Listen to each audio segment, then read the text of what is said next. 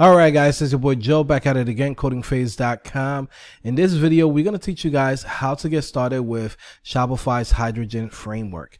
Okay, so the first thing that we want to do is make sure that we have a partners account. So you want to go to partners.shopify.com. And when you come in here, I want you guys to go in and click on join now and basically just register for an account. Okay. After you register for the account, you can come back in, log in, and then from there choose your account. I have multiple accounts so that's why it shows up like this. But you guys should be in a page that looks like this. This is like the welcome home page for the partners. Now the next thing that i'm gonna do here is create a store. Now shopify allows you to create unlimited stores uh, for development purposes. So you could come here click on add store okay click on development store and i'm gonna choose cp hydrogen. Okay that my shopify.com so this is going to be the url so this is the name and that's the url right there. Then from here you want to put in a password for your account. Then you want to put in some information like for the store address. Now you could put whatever it is that you want. It could be a fictitious address but you have to put in the address and then from there you want to go in and basically you could put i'm just playing around build a new store for a client test an app for a theme I will say it's between these two. Those are the options that you should take. And then you want to go in and click on save. All right, let's get started. Creating the store. I'm to pause this for a second until everything gets ready. All right, and here we go. We have a Shopify store and it's for development. Now to see the actual store, we could click right here. I'm going to hold control and for Windows it's control and Mac is for command, but to open up uh, in another tab but here we go okay? So this is how the store looks like okay? Nothing is happening there's no products there's no nothing. But to get that started we're gonna go in and basically download an application that's gonna install dummy data for us. Now yes we can do this with the Shopify CLI but to be honest with you I don't like the products that they have. I don't even like the, the orders that they have on the Shopify CLI. I'd rather go in and download this application, which just makes everything much easier and gives you like some real products that you can look at. So I'm going to come here and basically we're going to go in and say view more apps in the collection. Okay. I'm going to ask me information. Give this a second and there we go. Now we're going to come here and we're gonna say dummy data. Okay and that's gonna bring you to this application called simple sample data. Okay click add and yes it says one-time charge of 99 cents. They don't really charge you. Um, it's actually free. Now we end up here and now we have to install the app. So this is just like the android uh, phones and the ios phones where they ask you for what type of you know information you want to give to this application. You see we're only giving it access to the edit the products to edit the orders edit customers okay? And if you want to see what other data is looking for is looking for like the locations uh, that's weird. I don't know why it's asking for location. It shouldn't but it is what it is. Um, view shopify account data that's fine okay? So they just want to get like your email. Uh, but here we go. Click on install give this a second. Okay and here we go okay? So then from here you have different type of products that you can install. You could have clothes paintings toys.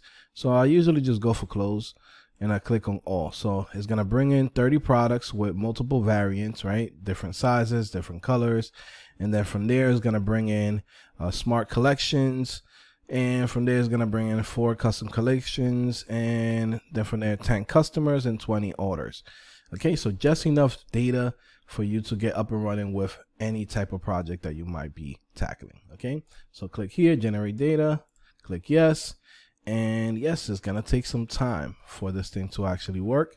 So I'm gonna pause this and I'll see you guys in a little bit. All right, so while this thing's still running, I mean, it's been about like five minutes. Usually it stops by now. Uh, sometimes it gets stuck on something I don't know what, but then it comes back. But to be honest with you, if you check and open up on another tab, you can see that all of your products are already here. Okay, so um, you're pretty much good to go. That's all you really need for now. Having your products, your orders, and things like that. Um, so we don't have to wait until this thing decide, hey, it's done, it's complete. Okay, because it could be stuck on something, um, but at least we got everything that we needed. So then now the next step is we want to go in and basically you get hydrogen up and running. Okay, open up your projects. I'm gonna go in, go to the location where I usually put all of my projects, which is a projects folder. And then here I'm gonna say npx create dash hydrogen dash app. Then it's gonna ask me for the name of the project and I'm gonna call it hydrogen dash app. You could call it whatever you want. Okay. And then now, once we do this, it basically has everything uh, set up for us. So I'm gonna go into that folder, cd hydrogen dash app. My fault, I missed the N. So cd hydrogen dash app. There we go. And then now we're gonna come in and we're gonna run those commands that were there. So we're gonna say npm install dash dash legacy peer deps npm run dev. Click enter and give this some time. All right, guys, so you should be seeing this. So now go to localhost 3000. So let's open this up on a new tab. And let me see, where is it? Here we go. Okay. I'm going to say localhost 3000. Give this a second.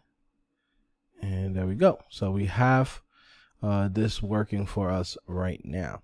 This right here is basically like a starter page for hydrogen. It's just like, you know, some examples that you can do here. Okay. You see the product page. You see the collection page. You also see the 4.4 template. Um, you also see, hey, connected to storefront Snow Devil.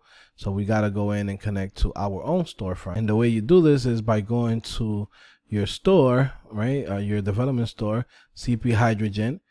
Or if this was like a real store that you was creating this uh, storefront for it, right? You will have to go in and click on the apps.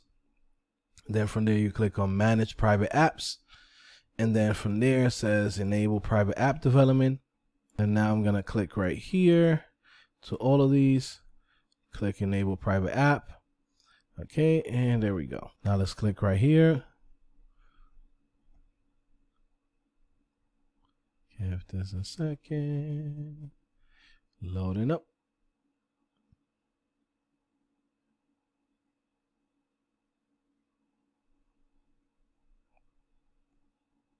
Okay, so in here, I'm gonna create basically, I'm gonna say private app name. I'm gonna say CP hydrogen.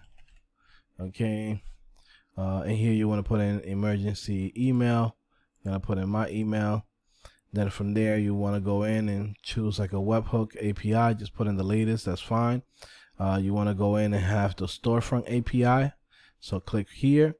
And then in here you get to decide what exactly is it that you want to do with this. So you can say read products, read inventory, read product and store pickup, uh, read customer tags, okay, reselling plans, okay, if you might need that, right? I just click everything just to show it to you guys.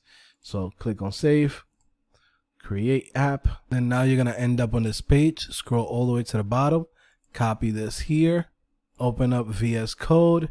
It's going to show you all of your files, right? I want you guys to go all the way to the bottom to shopify.config, put in the name of your store, right? The URL of the store. And then from there, you're going to put in the token that you got, which is your access token. And then from there, you're going to put in GraphQL API version, whatever the latest version is. For now, we're using this one, which is a stable version 2021 uh, 10, right? So we're going to save this and then we're going to do npm run dev. Give this a second. It's going to load up. Now, one thing that I'm noticing is that we're getting this error of field URL doesn't exist on type image. So what I'm going to do is I'm going to use the one that came with Shopify.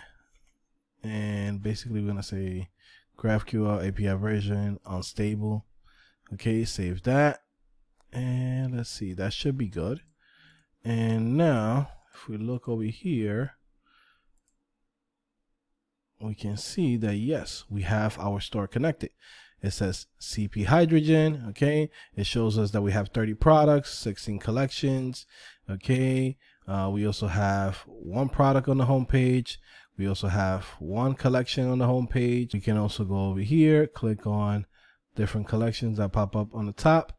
And this is all coming from our actual store. So if we look over here on the CP Hydrogen, click on products and search Adidas, you can see right here, this is the products and you can see inside of our storefront that we also have those products when we click on Adidas. Okay. And that's pretty much it, guys. It was that simple. We basically now have a storefront with Shopify's Hydrogen. Okay. Welcome to Shopify development, guys. If you are a React developer, a front end developer, right? Doesn't matter if you are using Next.js or you're using Nuxt or you're using React or Vite or whatever you want to be using, right? I think using Shopify and Shopify Hydrogen could really help you out in the long term to understand a lot of different concepts and a lot of different things that's happening with web development in general. Okay. So I'm super excited to see you guys in the next video for this course. For those of you guys that don't know, right now we're working on this Shopify hydrogen course on codingphase.com. Definitely come check it out. Okay. You can see right here, we have everything that you need to become a developer right at your fingertips, right? It's right in front of you. All you have to do is come in, come check out the website, and literally you could get started with 20 bucks okay we have every single career path that you could really want right now content editor html email developer general front-end developer back-end full stack react developer shopify theme developer shopify app developer and i give you guys like a preview like this is the shopify theme developer bundle like this is all of the things that comes with it okay and as a diamond member you get access to all of this exclusive courses that take you beyond just being like a front end developer. Like we go in and specialize on skills that can really help you out as a full time developer that's going to be independent, either working for a company or building your own company, right? Freelancing, you know, gigs or even creating your own themes or even creating your own storefronts, just like this one, the one that we just created right now. And yeah, man, definitely got to check out Coding Phase, man.